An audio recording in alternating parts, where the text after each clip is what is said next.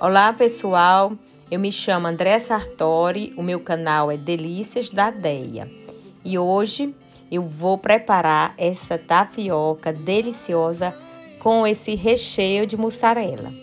Vocês podem escolher o recheio, né? Leite condensado, coco ralado, fica a gosto.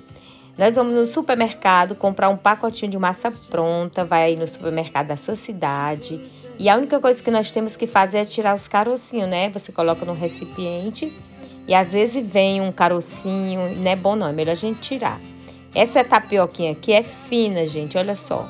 Se você preferir uma tapioca mais grossa, é só colocar mais massa.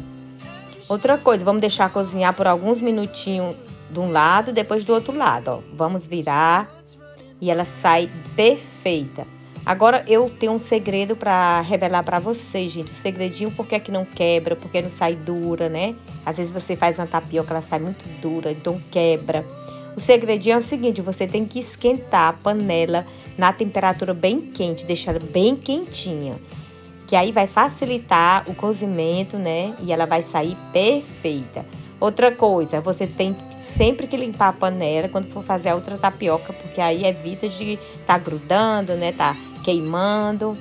Gente, eu já estou, já fiz três tapiocas e vou colocar o recheio de mussarela. Fica muito gostoso. Eu gosto da mussarela, né? Vocês podem escolher aí o leite de coco também é muito bom. Mas no momento aqui eu só tenho a mussarela, não tenho um leite de coco. Então eu vou fazer de mussarela.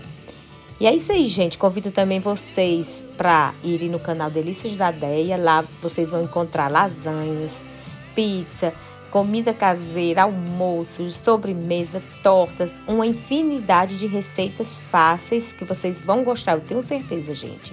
Olha só, queijinho derretido, vamos dobrar um pouquinho e já está pronta a nossa tapioca, gente. Fique com Deus, gente. Pediu mais uma vez, é muito importante para vocês se inscreverem no canal, tá bom? Para o crescimento do canal. Um grande beijo e até o próximo vídeo. Tchau!